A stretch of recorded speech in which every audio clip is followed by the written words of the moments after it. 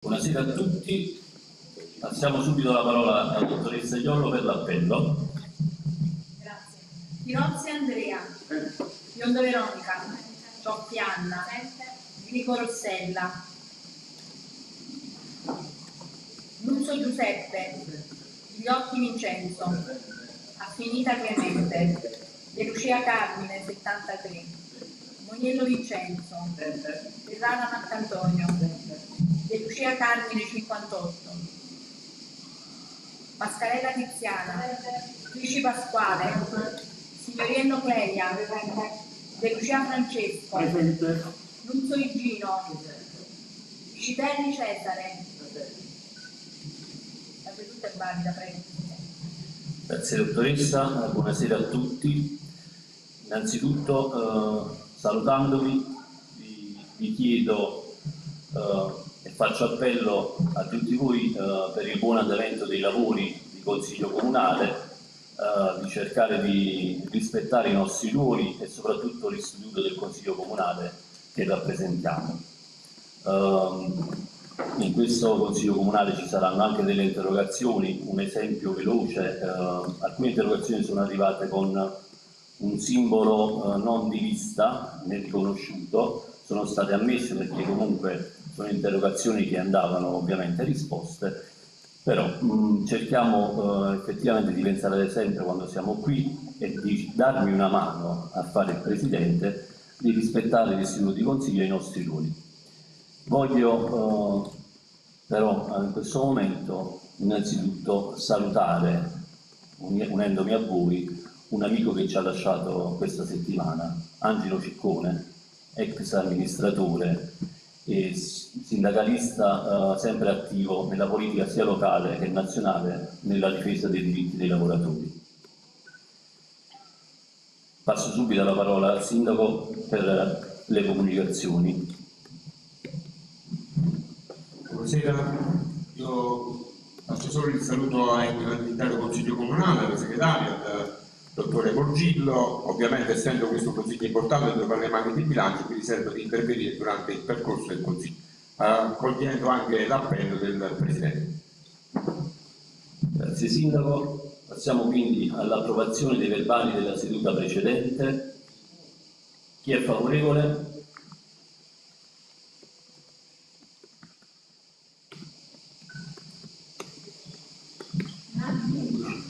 Unanimità. Quindi approvati i verbali della seduta precedente. Colgo l'occasione anche per salutare eh, l'assessore esterno Michele Russo, qui sempre presente con noi. Il secondo punto all'ordine del giorno è subito un'interrogazione, interrogazione sull'istituzione dei progetti di utilità collettiva del TEPUC con protocollo numero 15382 del 2022. Ovviamente l'interrogazione è firmata eh, Movimento 5 Stelle, quindi il consigliere Cesare Piscitelli, prego per l'esposizione. Buonasera a tutti, cari colleghi e nulla. Eh, ho ripresentato questa interrogazione a seguito di una mozione che presentai nel 2020 eh, nel 2020 eh, per sapere appunto quale è la situazione attuale per quanto riguarda eh, questi progetti. In realtà era un provvedimento del 2019 dove i comuni avevano sei mesi di tempo per poter attuare, nel 2021 eh, si era parlato che si iniziava a, appunto per uno studio di progettazione per eh, la verifica insomma, di come creare dei progetti utili e poi sempre nel 2022 e finalmente sono riuscito a, a creare un progetto. Io in realtà eh, volevo, permesso che praticamente nei progetti vi sono diverse attuabilità come in ambito culturale, sappiamo bene, in ambito sociale dove si può aiutare le persone anziane, eccetera, eccetera, tutti li conosciamo, l'ambito artistico, l'ambiente, eccetera. E a fine di questo avevo preparato tre domande le quali volevo in effetti sapere cioè quali sono stati i motivi che hanno determinato il ritardo dal 2019 fino al 2021, quali sono stati i ritardi causati dal, dalla mia presentazione della mozione nel 2010 e quanti sono, stati a tutt'oggi, quanti sono a tutt'oggi i percettori del reddito cittadinanza? E, se, e quanti ne sono stati impiegati. E quali altri interventi adesso attualmente saranno stati valutati o pianificati per uh, garantire questo servizio in virtù del fatto che uh, i comuni possono impiegare un terzo del, del totale dei percettori. Volevamo sapere appunto uh, che tipo di pianificazione è stata fatta al momento. Grazie. Grazie consigliere Lucidelli, risponde l'assessore Veronica Biondo.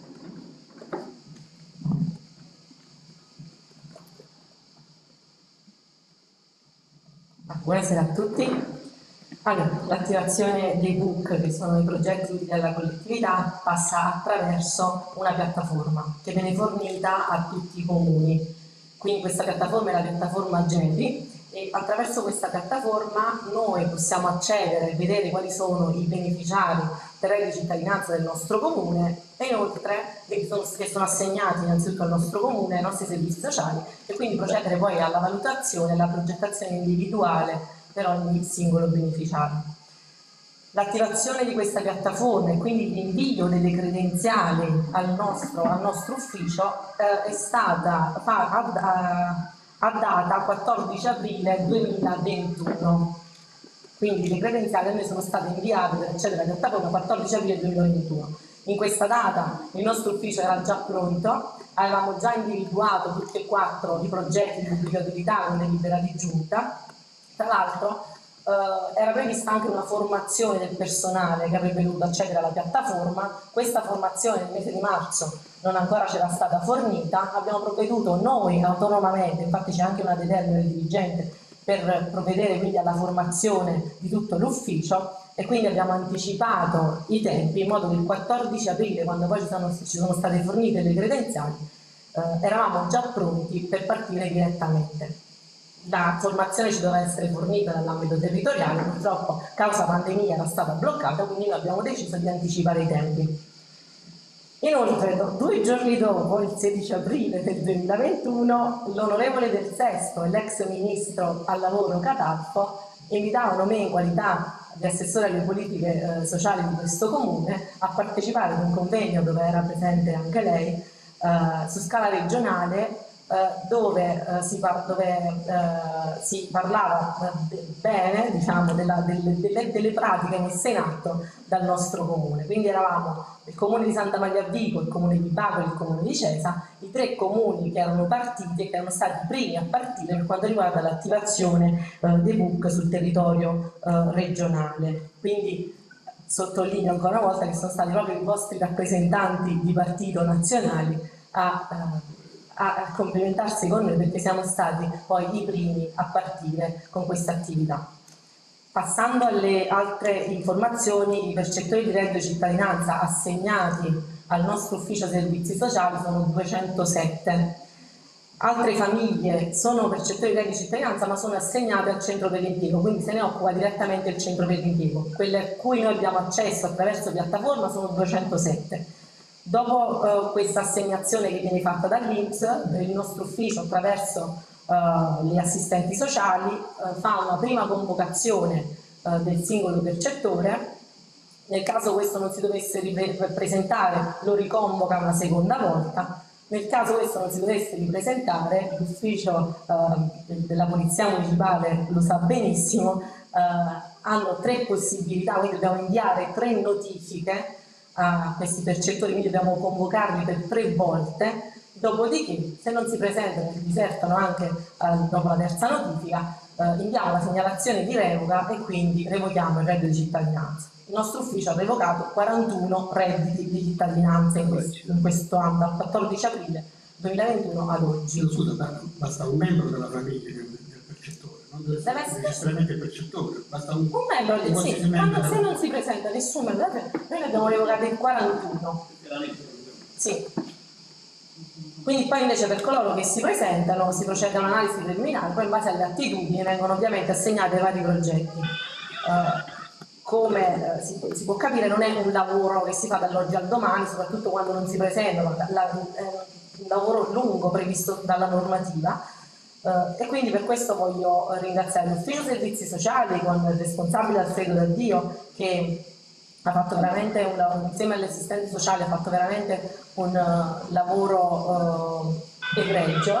E ad oggi eh, il nostro ufficio ha, ha realizzato e concluso, chiuso 178 pratiche su 207 e di, queste, uh, di questi 178 casi, famiglie analizzate, 60 persone sono risultate idonee per essere impiegate all'interno dei progetti utili alla collettività. Ad oggi 20 di questi 60 individuati hanno concluso, hanno partecipato eh, ai progetti eh, e nei prossimi, gli altri 40 parteciperanno alla rotazione a scaglioni, eh, parteciperanno per tre mesi, eh, poi verranno assegnati sugli altri progetti. In realtà inizialmente i progetti duravano sei mesi, quindi facevamo due rotazioni all'anno, però vista la, la, la, che, visto che abbiamo individuato 60 eh, persone che possono partecipare a queste attività, abbiamo deciso di ridurre il progetto a tre mesi in modo, da impiegare tutti quanti.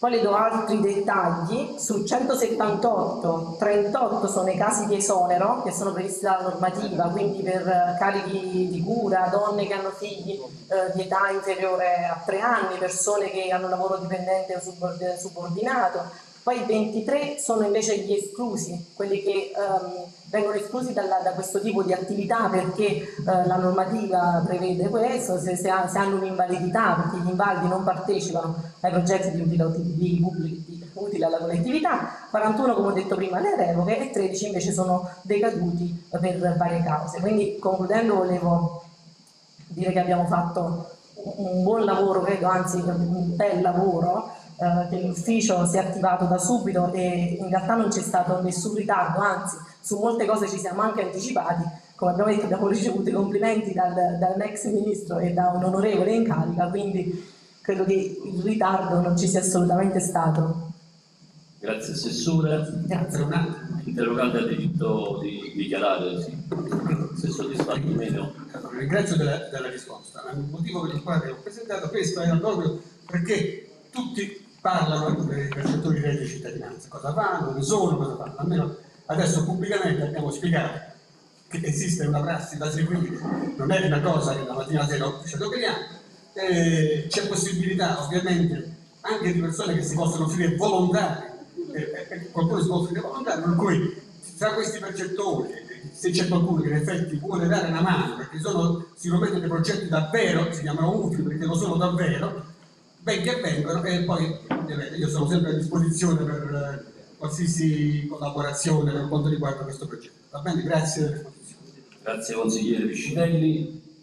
Passiamo all'ordine del giorno numero 3, interrogazione campus scolastico protocollo 15562 del 2022. Questa come quella successiva è stata presentata eh, vabbè, su una carta intestata al gruppo consigliere dell'opposizione che come abbiamo detto non è esistente, però eh, firmata, quindi la prossima volta eh, accoglieremo quelle con simboli ufficiali o comunque eh, in questo caso firmata dai consiglieri di minoranza, quindi il primo eh, firmatario è Pasquale Crisci, non so se eh, la, la dichiara o no, la dichiara il consigliere di Gino Molto brevemente, Prego. Presidente, prima cosa mi voglio anch'io ricordare circola molto di avversario politico ma sempre uh, nell'interesse della città e del suo lavoro. Poi volevo anche intervenire sulla vostra diciamo, uh, attenzione che dobbiamo dare ai ruoli istituzionali, uh, invitando anche da, da, dal punto di vista dell'opposizione a rispettare il ruolo istituzionale, soprattutto dopo quello che è avvenuto al Consiglio Comunale precedente. Per quanto riguarda il problema del simbolo ve l'abbiamo già indicato nella linea capigruppo, cioè siccome Cesare si diverte graficamente, allora ha deciso di fare questa, è un fatto grafico. Era in convalescenza, avevamo anche capito. Eh, sì. Per quanto riguarda la interrogazione presentata, eh, prevede due domande eh, molto chiare, cioè voglio dire, oggi penso che domani, che oggi è 20, 20 domani 21 luglio è un anno dalla eh, dall'acquisizione di questa gara di appalto che ha una formula diversa e dopo un anno deve essere presentato un progetto definitivo. Noi in questo caso non è come l'altra volta, questo lo, volevo dire anche al capogruppo di, di maggioranza, noi non stiamo facendo una interrogazione non è la stessa dell'altra volta, cioè vogliamo chiarire In questo caso, l'altra volta parlavamo di una programmazione politica che è ben diversa da un lavoro specifico. Quindi noi vogliamo conoscere come eh, tra le tante domande che cerchiamo di fare per avere risposte, quando essenzialmente inizieranno i lavori, il cronoprogramma, anche perché abbiamo bloccato cittadini che devono avere un esproprio per quel bene, cioè da un anno non sanno loro dei, dei, dei loro beni che cosa. Quindi abbiamo chiesto specificamente con due domande qual è l'iter del eh, campus scolastico. Grazie consigliere Nuzzo, passo la parola al sindaco per la risposta.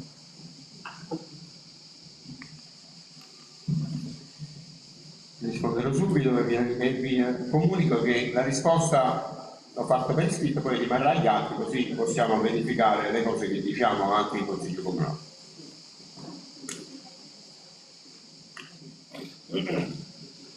In riferimento alla interrogazione specifica si comunica quanto segue. Il primo lotto del campus cittadella scolastica confermo è attuale e tangibile, quindi non c'è nessun ritardo rispetto alle procedure.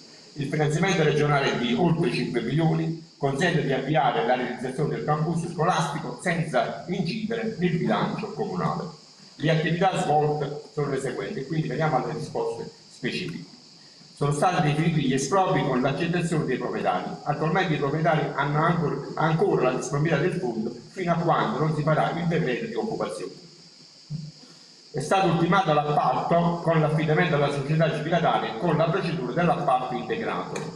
Appalto integrato significa la giudicataria ha ultimato la del progetto esecutivo perché nell'appalto integrato è la giudicataria che deve realizzare il progetto esecutivo, cosa che è stata realizzata e gli uffici, l'ufficio tecnico, in data 16-6-2022 sono stati chiesti pareri all'ASL con protocollo numero 13215 e ai vigili del fuoco con protocollo 13351 appena acquisiti eh, i pareri perché sono obbligatori per dare iniziato, noi avvieremo i lavori del primo lotto, per cui non sono ritardi eh, voluti dal, dall'ufficio tecnico, che ringrazio l'ufficio tecnico e l'intera macchina amministrativa e anche in momento di difficoltà perché stiamo riorganizzando il settore, stanno lavorando in maniera egregia. E questo è per quanto riguarda il primo lotto, parliamo delle tempistiche arrivano i pareri e chiaramente daremo ai lavori. Vi, vi, comunico il Consiglio Comunale che il Presidente Lugo ci tiene all'inizio dei lavori ad essere presente perché ovviamente inizierà una serie di attività per quanto riguarda le liste scolastiche, probabilmente Santa Maria Vico con la programmazione triennale delle liste scolastiche è il primo comune che avvia questo tipo di programmazione. Vi sono altri enti che pure hanno avuto finanziamento, ma al momento sono ancora molto ma molto in là. Penso che abbiamo esperienza anche il presente. Secondo l'importo di finanziamento per la verità è di 1.628.000 euro, perché avendo avuto noi il primo lotto di 5 milioni è stato ridotto a 1.628.000 euro. Il finanziamento è sempre della Regione Campania, senza incidere nel bilancio comunale, Attualmente sono stati definiti gli espropri, così come il primo lotto, con l'accettazione dei proprietari. E qui devo, eh, devo, ancora dire che i proprietari attualmente hanno ancora la disponibilità del fondo fino a quando non si farà il decreto di occupazione, fermo restando che ci sta già l'accordo fatto con l'ufficio. Con determine numero eh, 1232 del 22-12-2021 è stata avviata la procedura di gara per l'affidamento della progettazione esecutiva e della direzione lavoro. Una volta acquisita la progettazione si avvierà la gara migliorativa, evitando così di fare una gara, molti di voi anche questa hanno criticato, anche in generale si critica, la gara con il massimo ribasso, quindi uffici hanno programmato una gara eh, eh migliorativa eh, perché si va a favorire non il ribasso economico perché poi non si riesce a arrivare a realizzare loro, ma una gara migliorativa che si va a garantire la qualità e l'intervento dell'opera e magari si va a realizzare. Per cui anche nel secondo lotto c'è una procedura in corso con questa attività avviata con una determina che è gli atti ufficiali che rimaniamo agli atti per l'affidamento la, della progettazione esecutiva. Una volta realizzato il progetto, la possiamo avviare la fase con questa tipologia. Grazie Sindaco. L'interrogante ha facoltà no, di dichiarare. Mi fa piacere che il sindaco metta agli atti questo, suo intervento, così rimarrà a futura memoria anche per tutti chi verrà dopo di noi. Grazie. Grazie consigliere. Passiamo al numero 4 dell'ordine del giorno, interrogazione servizio idrico, protocollo 15564 del 2022. Uh, chi dei consiglieri firmatari? Ok, consigliere Luigi Pasquale, prego, ne ha facoltà. Buon pomeriggio a tutti. Beh, è inutile sindaco che la leggo. Sulla questione acqua ne parliamo da, da decenni ormai. Quello che ci preme sapere tra i cittadini e noi cosa si sta facendo, cosa si sta pensando di fare, come vogliamo addivenire a questa situazione che ogni anno, anzi ogni anno, mese, giorno, ci sono momenti, ci sono, ci sono momenti in cui veramente, eh, come è successo l'ultima volta, l'acqua va via 3-4 giorni senza avviso, nonostante ci siano le condizioni per. L'ho vissuto anche personalmente, per l'amor di Dio, però è arrivato il momento di darci da fare ed è arrivato il momento di firmare anche questa benedetta convenzione con il consorzio, perché altrimenti ci danno sempre per spacciati su certe situazioni. Noi vogliamo sapere cosa si sta facendo e cosa si pensa di fare sulla questione pozzo, acqua e tutte le, le situazioni adesso connesse. Grazie consigliere. Passo la parola al consigliere Vincenzo Monillo per la risposta. Sì, grazie Presidente, buonasera a tutti. Allora, Sulla convenzione il sindaco si serve di intervenire. Sì, vabbè, a parte poi l'interrogazione l'aspetto tecnico del delegato è dettagliata, quindi ho preparato anche io una risposta scritta che poi darò venga nei suoi atti. Va bene, grazie, prego. Allora, rispetto all'interrogazione in oggetto, riteniamo sia priva di fondamenta e di storia la verità dei fatti, i quali risultano ben diversi. Innanzitutto voglio precisare che la gestione idrica comunale è affidata all'ente gestore Consorzio Idrico di Lavoro CTL il quale, sotto la propria responsabilità, provvede al corretto funzionamento ed alla manutenzione dei pozzi e stazioni di sollevamento presenti sul territorio ed alle riparazioni delle dispersioni idriche alle condutture, le quali vengono segnalate tramite PEC dalla Polizia Municipale. Il gestore, tramite un sorvegliante di zona, effettua sopralluogo delle dispersioni segnalate e, valutando in base alla priorità, alla pericolosità, avendo assoluta eh, responsabilità della pubblica incolumità, dal momento della segnalazione ricevuta tramite PEC, provvede alla riparazione con ditta incaricata con annesso ripristino della pavimentazione. Riguardo al recente disagio prevenuto rispetto alla mancanza eh, educazione idrica solo in parte del territorio comunale, è stato causato da interruzioni anomale di tensione elettrica, portando alla rottura di un componente alla cabina elettrica Enel e il sistema d'allarme collegato con il gestore. È stato un evento eccezionale che in questa cabina da 20.000 volt capita quasi mai, dato che viene alimentata direttamente da linee esclusivamente dedicate provenienti dal territorio beneventano. Quindi ci si accorge del disagio solo nelle, proprie, nelle prime ore dell'alba i tecnici del consorzio, subito avvisati, prontamente si sono recati sul posto ed in modo celere hanno sostituito tutti i componenti compromessi e azionato il pozzo. Verso le 11, 11 e mezza era già il pozzo azionato. Chiaramente si è dovuto aspettare poi al riempimento degli accumuli, cosiddette vasche, affinché ritornasse la normale erogazione nelle zone interessate, ma comunque nell'arco della stessa giornata.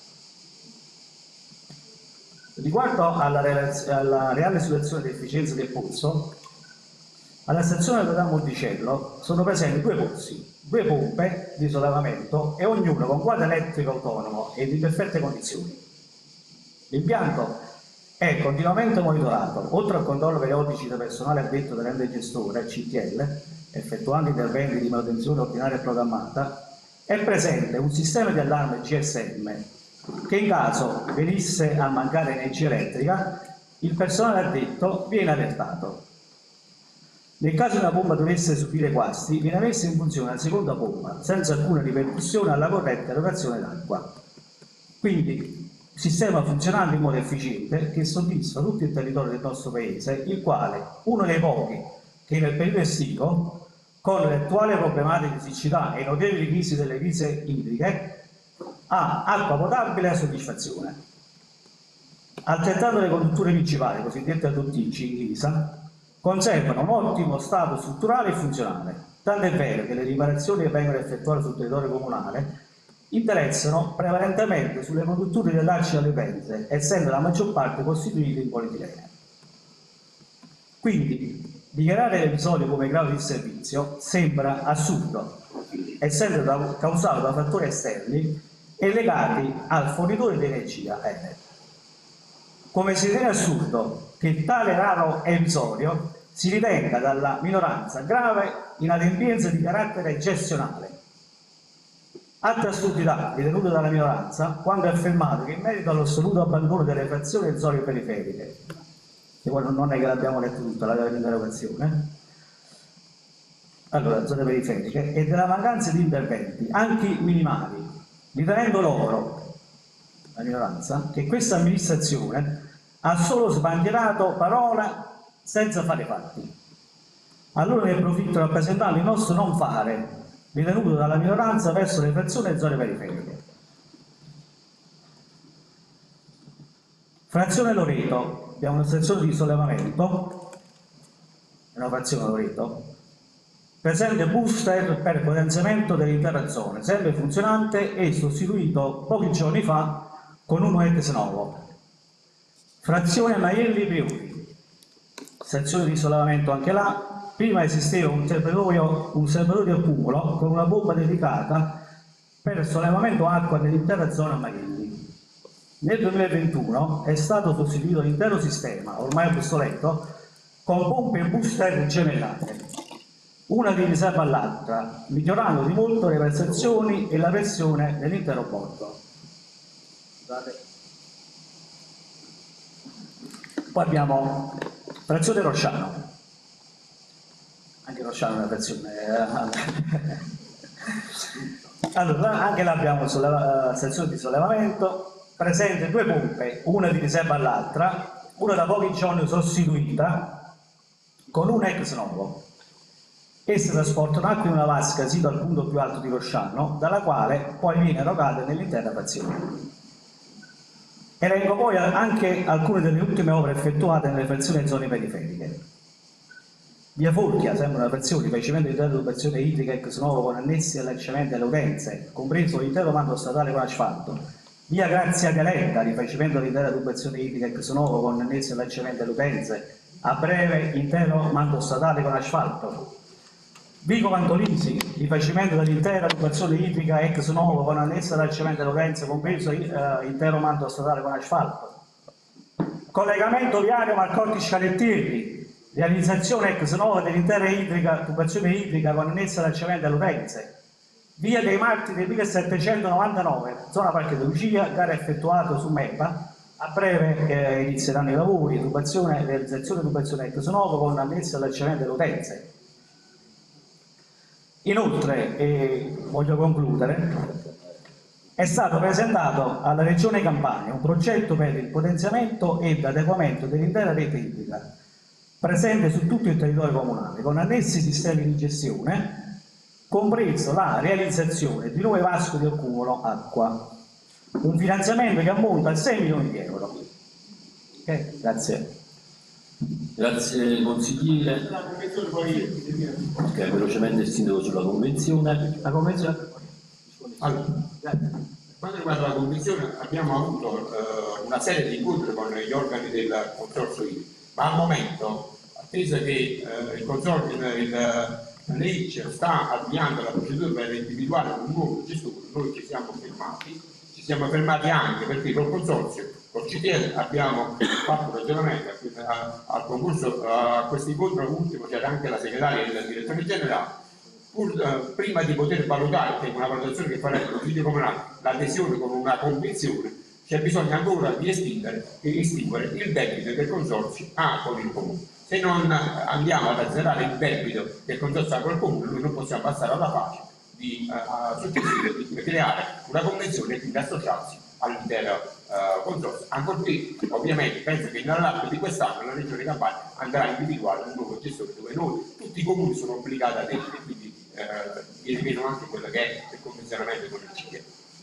Grazie Sindaco, la parola al Consiglio Pasquale Visci per dichiarare se è stato soddisfatto. Sindaco, sai, sai, il consorzio sta avendo una trasformazione in società per azioni, questo potrebbe essere controproducente per noi perché i debiti si acquisiscono alla Regione Campania su questo cerca di darci solo tempo perché altrimenti restiamo fuori. Per quanto concerne invece la risposta del consigliere delegato, io vi faccio solo una domanda. da tecnicamente porte, finestre e tubi ci stanno, eh, ci devono essere per forza. Il booster a Loreto ci deve essere per forza, nell'ultimo mese si è rotto due volte, a priori la stessa cosa. E ci siamo visti cosa si sta facendo e se vogliamo poi andare oltre è stato fatto, si sta facendo il lavoro sulla nazionale, c'è un tubo da 200 vecchio di 100 anni, però probabilmente ce ne siamo dimenticati, potevamo sostituirlo. Potevamo, potevamo sostituirlo però, siamo, siamo ancora in corso e potevamo sostituirlo. A noi interessa eh, l'attenzione su questa cosa e che questo problema non avvenga, perché dopo tutto questo che c'è, siamo stati due giorni senza acqua a 40 gradi, non abbiamo puntato il dito, stiamo cercando solo di capire cosa si sta facendo, visto che in 30 anni abbiamo avuto gli stessi problemi. Tutto qua, grazie. Bene, grazie consigliere. Il consigliere Murillo mette agli atti la relazione, vero? Sì, grazie. Se la consegna alla segretaria così la mettiamo agli atti.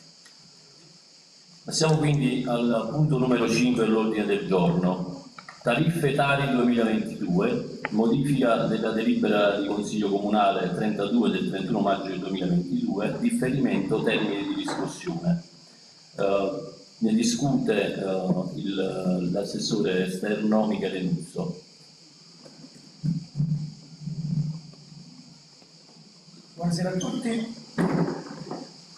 Sono a sottoporre all'approvazione consigliare un semplice differimento della scadenza delle rate Tari, giacché con delibera di Consiglio Comunale del maggio di quest'anno avevamo deliberato eh, quattro scadenze per il pagamento della tariffa della Tari, precisamente prima rata al 31 luglio, seconda al 31 agosto, terza rata al 30 settembre, quarta rata al 31 ottobre. Per eh, agevolare le eh, operazioni di eh, eh, recapito delle, delle, bollette abbiamo ritenuto spostare di un mese in avanti il pagamento della prima rata, quindi il tutto deve ritenersi spostato in avanti di un mese, pertanto la prima rata sarà, eh, dovrà essere pagata entro il 31 agosto 2022, la seconda entro il 30 settembre, la terza entro il 31 ottobre 2022 e l'ultima entro il 1 dicembre 2022. Voglio approfittare e ricordare ai consiglieri, nonché alla cittadinanza, che nella bolletta che sarà recapitata ai cittadini sarà contestualmente indicato, oltre al all'importo da pagare per la Tari nell'anno 2022 anche eventuali pendenze relative agli anni precedenti 2020 e 2021 di modo che eh, il cittadino possa evitare eventuali sanzioni per, per il futuro. Ricordo ancora che eh, la Tari è pagabile oramai in eh, moltissimi canali postali, bancari, nonché anche eh, sul sito dell'ente con carta di credito. Null'altro. Grazie Assessore Michele Nuzzo, c'è qualche intervento? Allora passiamo subito alla votazione. Chi è favorevole a questa modifica? All'unanimità si vota in maniera favorevole. Per l'immediata eseguibilità, chi è favorevole? All'unanimità è approvata l'immediata eseguibilità. Si passa al numero 6 eh, dell'ordine del giorno, ratifica prima variazione d'urgenza di bilancio 2022-2024. Sempre l'assessore Michele Russo che ce la esplicita. Rieccoci, sono a sottoporre all'approvazione consigliare la ratifica della delibera di giunta numero 121 del 22 giugno 2022 di eh, variazione al bilancio previsionale 2022-2024 con la quale si rese necessario eh, implementare alcuni capitoli e prevedere eh, ulteriori finanziamenti ricevuti dall'ente. Eh, la ratifica per legge deve essere fatta entro 60 giorni dall'adozione della delibera di giunta e pertanto eh, sottopongo all'Assemblea dei consiglieri la ratifica della delibera innanzi indicata. Grazie. Grazie Assessore, c'è qualche intervento?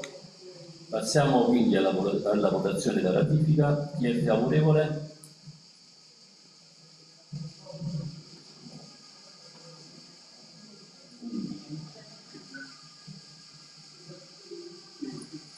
favorevoli. Chi è, eh, chi è, contrario? Nessuno. Chi si è astenuto? Tre. Eh, assente il consigliere Pasquale Pisci, sì, nella fase di votazione. 19,54. Immediata eseguibilità della variazione, chi è favorevole? 11. Chi è contrario? 0. Chi si astiene? 3. Approvata l'immediata eseguibilità. Numero 7 l'ordine del giorno, salvaguardia equilibri di bilancio 2022-2024 ai sensi dell'articolo 193 del decreto legge numero 267 del 2000 e contestuale variazione di bilancio. L'assessore Michele Annunzio, prego, ne ha facoltà. Rientra il consigliere Pasquale Vici. Dunque, come ogni anno, nel corso del del, dell'anno solare, eh, la norma impone agli enti di verificare la permanenza, la permanenza del, degli equilibri di bilancio.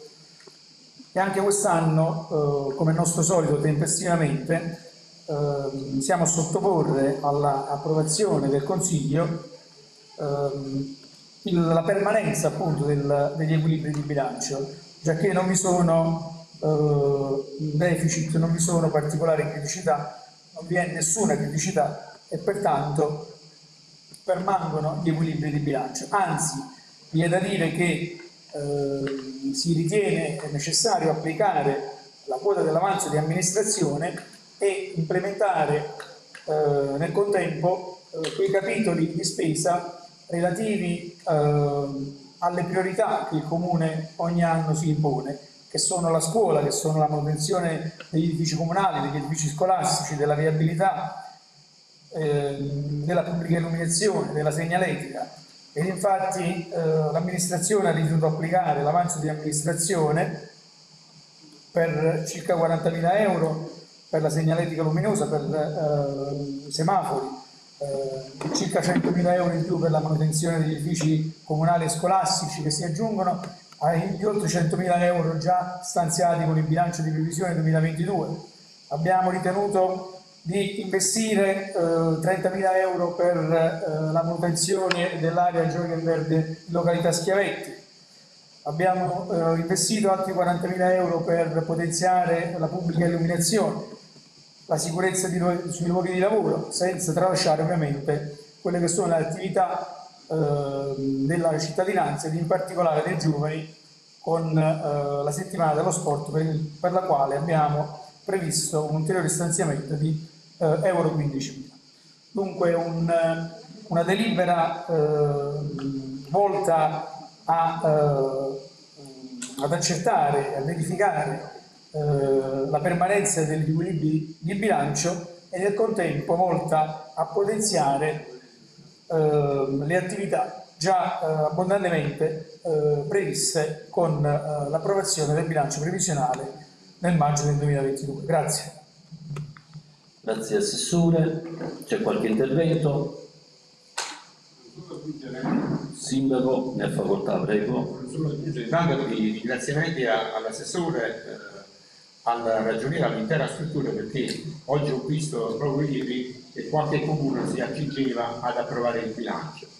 Noi i tempi, eh, diciamo, eh, il rispetto dei tempi, oltre ad aver approvato il bilancio, rendiconto oggi approviamo il equilibrio, questo dimostra che eh, al di là degli interventi che faremo, in modo che me ne dico qualcuno, avremo, abbiamo un'attenzione eh, diciamo, eh, importante sulle carte e sul bilancio questo va un ringraziamento a tutta la macchina amministrativa rispetto a questa gestione online.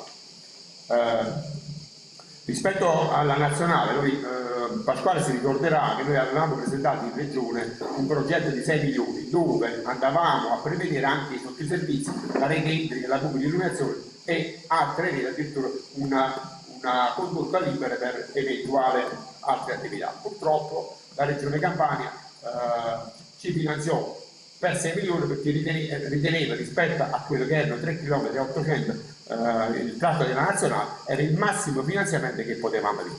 Per cui non eh, era possibile poter andare oltre e rimane in piedi alcuni tratti di rete idrica ancorché siamo ci hanno approvato la realizzazione di qualche marciapiede di rete fognaria, di collettori eh, non, ci, non, ci, hanno approvato la realizzazione di alcuni tratti della rete idrica e l'intera pubblica illuminazione Siccome a settembre si aprirà nuovamente l'SFC nuovamente e la nostra nazionale è l'unica che collega, così come abbiamo detto nella conferenza eh, con eh, il governo la settimana scorsa, chiederemo di ulteriori interventi per fare in modo di andare a eh, migliorare questo che è un tratto che oggi collega ancora fino a quando non si realizzerà questa benedetta collegamento Marcianese-Paulisca, eh, l'unica strada che collega la Puglia con la Campania e Benevento, la provincia di Benevento con quella di Caserta. Rispetto agli interventi, eh, una volta abbiamo oggi eh, eh, messo a disposizione altre eh, somme, come diceva l'assessore al bilancio, ma nei prossimi giorni partirà un piano per oltre 200.000 euro per andare a riqualificare una serie di strade comunali, eh, via Cambio, eh, via Ferdinando Aragona, via Panoramica, via Rosciano, eh, via Stolella, via Deletto, quindi saremo, faremo un'attività importante su quella che è la viabilità interna, eh, dopodiché andremo a fare una serie di attività infrastrutturali, tra cui mi piace dire in questo consiglio andremo a riqualificare eh, l'intera eh, piazza Umberto I, per cui faremo una serie di interventi eh, faremo una serie di interventi atti ad andare a migliorare la vita del nostro del nostro territorio. È partito un programma per quanto riguarda i parchi eh, gioco, abbiamo eh, fatto un primo finanziamento, inizieremo da Schiavetti eh, con la trasformazione dai giochi attuali in alluminio, eh, così poi passeremo alle altre piazze, partendo come secondo me eh, il parco di Lucino. Nei prossimi giorni eh, credo non possiamo adesso andare a realizzare il verde pubblico, andremo ad aprire quella che è un'area importante nel comparto di Via Gaudio dove abbiamo realizzato un'area uh, parco giochi e fitness che penso che apriremo uh, a breve, per cui noi continueremo a lavorare con la collaborazione di tutti per andare a migliorare quelle che sono le, le infrastrutture per rendere la maggiore vivibilità alla nostra comunità. Grazie Sindaco, ci sono altri interventi, consigliere Pasquale Grisci, prego ne facoltà. Sindaco, per la nazionale potevamo anche coinvolgere il consorzio, visto che è, è in debito con noi, però aspettiamo settembre per rifarla di nuovo, per iniziare da capo. Uh, io dico questo, va bene la programmazione, ma oggi abbiamo 7-8 cantieri in essere e nessuno vede la luce. L'ufficio tecnico purtroppo sappiamo che è chiuso e non so, tutte... ci sta qualcuno l'ufficio tecnico? Siamo sfortunati, ogni volta che veniamo non troviamo nessuno. Però l'ufficio tecnico ti, telefo, ti telefonerò, vabbè. vabbè. Noi ci auspichiamo che i cantieri aperti vedano la luce, dopodiché possiamo programmare e avete sempre il nostro appoggio. Per ad oggi abbiamo un paese totalmente a metà. Cerchiamo di chiudere qualche opera e poi le prossime, che Dio ci va avanti buono. Eh, credo che chi svolge attività amministrativa, oggi in Italia sono bloccati 60.000 cantieri, lo sappiamo tutti, e lo Stato è intervenuto col decreto 50 per andare a rivedere i prezzi perché sappiamo tutti che la materia prima è aumentata in maniera esponenziale. Chiaramente le difficoltà che vive l'Italia le vive anche Santa Maria Piccola. Con la nazionale stiamo andando avanti, con, eh, sicuramente con lentezza, ma l'obiettivo principale è quello di far realizzare un'opera a regola d'arte e credo che vi ci dovete dare atto che stiamo facendo un'opera fatta per bene, l'intera nazionale. basta, basta, basta parlare con chi ha competenze uh, avere una strada dove si realizza il lavoro che si fa sull'autostrada, uh, la fibra ottica, 25 cm di asfalto, il tappetino che adesso com completa fino alle proprietà private. E ovviamente due ingressi che saranno uh, l'orgoglio di Santa Maria Viva, sia all'ingresso da Cardinale Michele dove c'è il bar di Cum, sia all'ingresso di via della stessa della Masseria questo dove saranno oltre a riqualificare la nazionale che è la prima cosa e oggi i cittadini mi stanno dicendo che stanno dormendo. Da 30 anni non riuscivano a dormire con lesioni conosci bene la storia di, di, queste famiglie che vivono sulla nazionale oggi stiamo raggiungendo quello che è eh, il massimo di quello che potevamo avere da questo finanziamento con, anche perché no con, eh, con l'abbellimento e creare delle condizioni che quando si arriva a Santa Maria Visto si arriva in un paese eh, che ha l'orgoglio di dire dignitosa anche per quanto riguarda la viabilità. È chiaro che ci sono delle difficoltà, in particolare in questo momento con alcuni cantieri. Noi riteniamo che con la struttura domani mattina chiuderemo i colloqui per assumere ancora un, uh, un ingegnere, un 110, uh, sono in corso l'assunzione di un ingegnere a tempo indeterminato e altri due geometri, credo che la struttura tecnica la stiamo, uh, stiamo adeguando per quella che è la sfida del PNRR, per cui ci, ce la mettiamo tutti, certo non esiste, ci sono delle difficoltà, difficoltà che viviamo con il palzetto dello sport, difficoltà che viviamo con il, il, il, il Giacomo Leopardo, ma chiaramente noi ce la mettiamo tutto per fare in modo di superare le difficoltà e di creare le migliori condizioni per far ripartire i cantieri che oggi oggettivamente le, le ditte che eh, eh, vogliono lasciare perché non rientrano in quanto le spese sono enormi, per andare a 45 centesimi ma a 1,50 euro, quindi se non si trovano i fondi per andare a ricoprire le spese, ovviamente i cantieri si fermano e non vanno. Grazie Sindaco, aggiungo che ovviamente la stabilità del paese, non solo Santarelli ma del paese Italia, dovrebbe, dovrebbe essere tale da, da, evitare scossoni al PNRR e magari a queste... Prego, consigliere Cesare Piscitelli. Io voglio ringraziare il segno di questa esposizione, perché in effetti la via nazionale è, è, è diventato quasi l'argomento di tutti perché non si riesce a capire perché non si riesce. Comunque, ottimo lavoro, io so che stamattina lei e alcuni tecnici erano eh, appunto sul, sul, sulla nazionale verso la rotonda sulla parte nord e, e, proprio per questo mi hanno mandato un messaggio dicendo guarda stasera il consiglio comunale di questo, ma non capisco perché in effetti se non è nero del giorno non si potrebbe dire, ma colgo l'occasione perché dicono che in effetti la rotatoria eh, garantisce un rallentamento dei mezzi pesanti quando passano, però dopo le macchine eh, subito sfrecciano per superare i mezzi e, e diventano un po' pericoloso perché dice che a 90 loro poi si spinano e cercano di superare i camion. Ma questo ovviamente... Siamo al centro tra il serbatoio di Piano Marino. Bravissimo. Sarà una fotoretta, un'auto Bravissimo. Ma per un'altra cosa, quello che io invece volevo sapere è se verranno installati su questo tratto che è abbastanza lungo attraversamenti pedonali luminosi e, eh, e sonori per i disabili. Quello volevo sapere. Ottimo, grazie.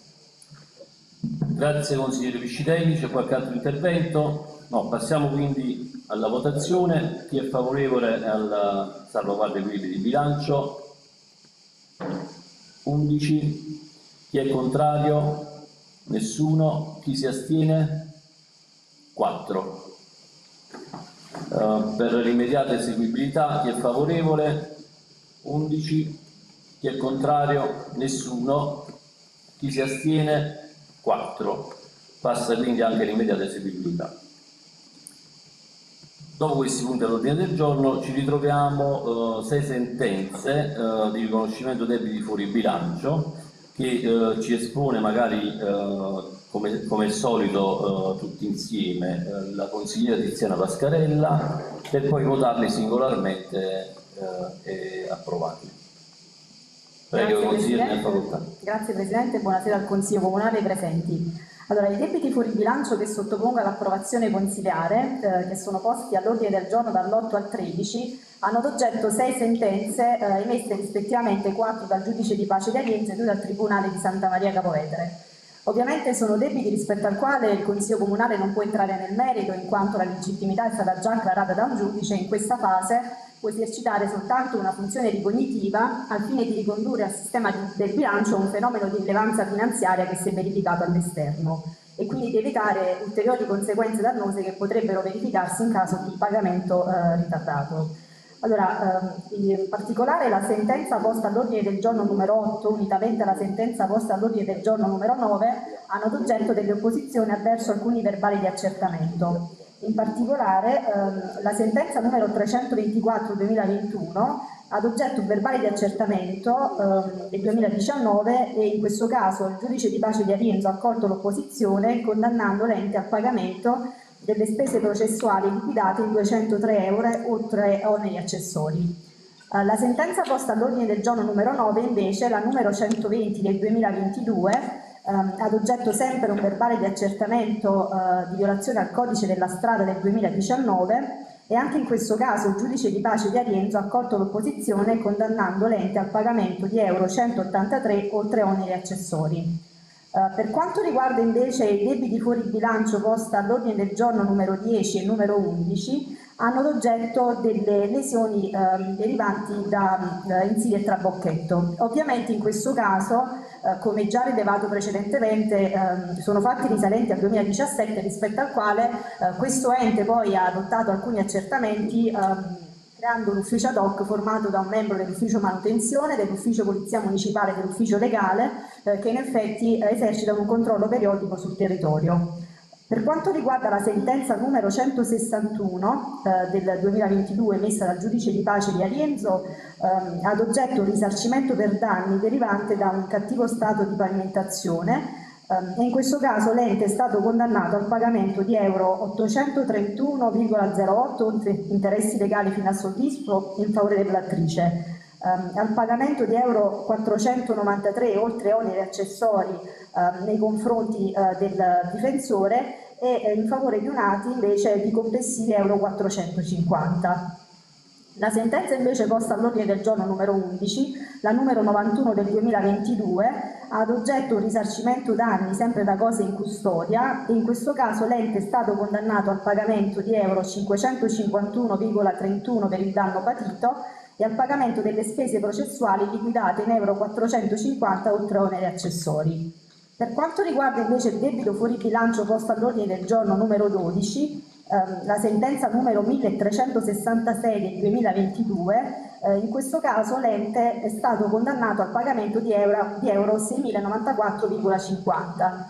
Apparentemente può sembrare una sentenza sfavorevole, invece è stato un successo per l'ente perché nel caso eh, la parte aveva citato il comune in giudizio per il risarcimento pari a euro 90.000 eh, e la difesa dell'ente invece in questo caso, eh, per fatti risalenti all'11 settembre 2011, è riuscita comunque ehm, ehm, vittoriosa e in questo caso l'ente è stato condannato al pagamento di soltanto euro 5.000 oltre oneri eh, interessi legali sino a soddisfo eh, per i soli danni che erano stati accertati dai vigili del fuoco in seguito a un intervento perché riguardava un incendio divampato in alcuni eh, terreni comunali.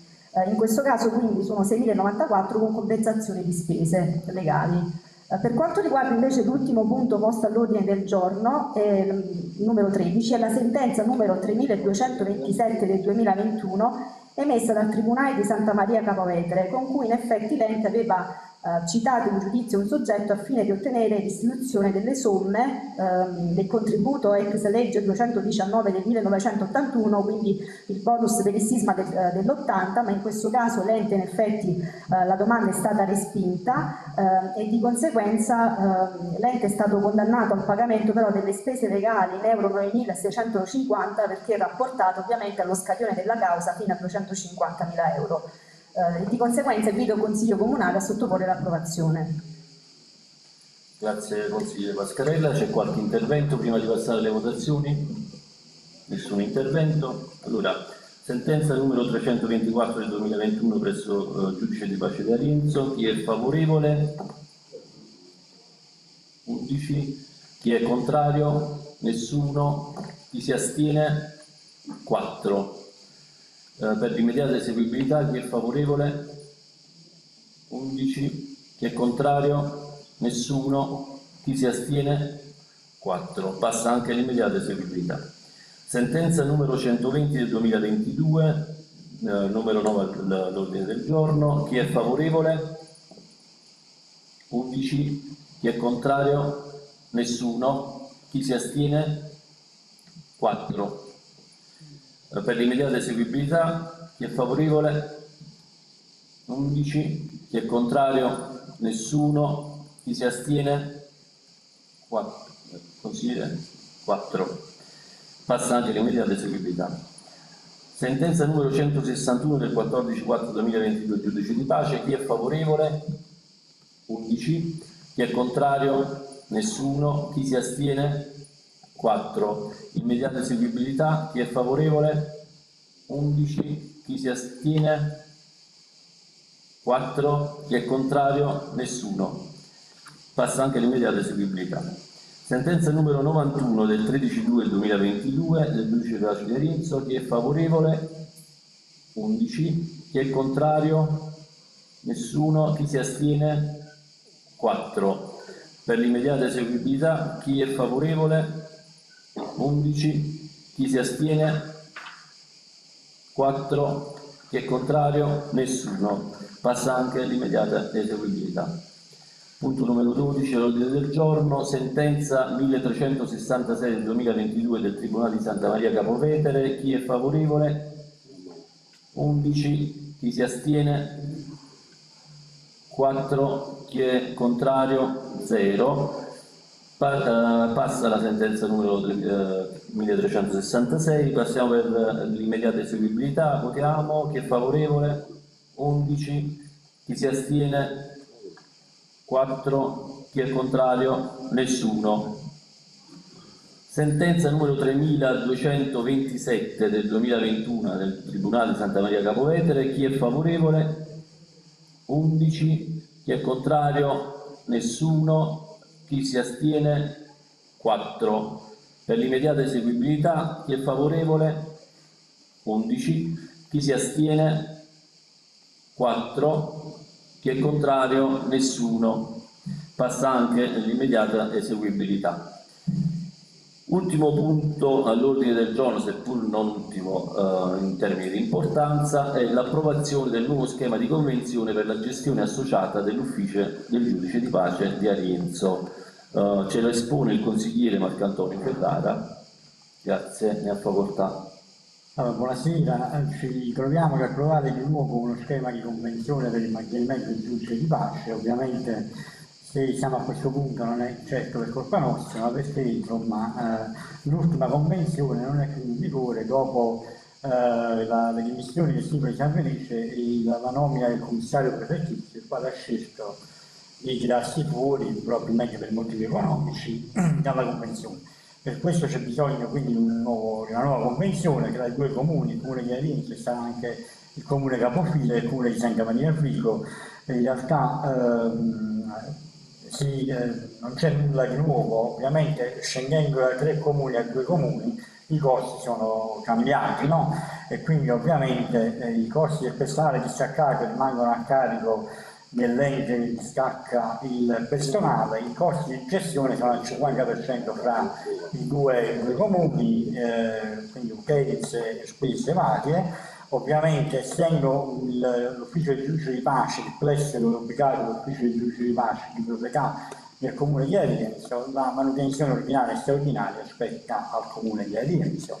Eh, sono state fatte altre previsioni nel caso in cui sarà disposto una posizione organizzativa o nel caso in cui le esigenze della cancelleria e il numero quindi contenzioso cresca, ci potrebbero essere delle integrazioni di personale o la nomina di una posizione organizzativa, in quel caso gli ulteriori costi saranno ripartiti al 50%.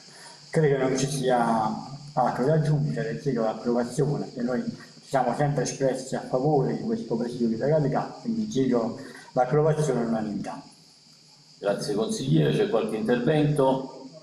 Nessun intervento, allora passiamo subito alla votazione. Chi è favorevole? All'unanimità viene approvato il nuovo schema di convenzione per il giudice di pace di Arienzo. Uh, finisce qui il Consiglio Comunale, voglio ringraziare tutti gli intervenuti, ovviamente i vigili urbani, la protezione civile, il nostro, eh, il nostro eh, ragioniere, il dottor commercialista che ci aiuta eh, con la tecnologia, e la dottoressa uh, Iollo a cui auguriamo delle buone vacanze. Grazie, oltre ovviamente all'ufficio manutenzione che è sempre attento ad organizzarci al meglio la sala. Buona serata a tutti e buone vacanze costante.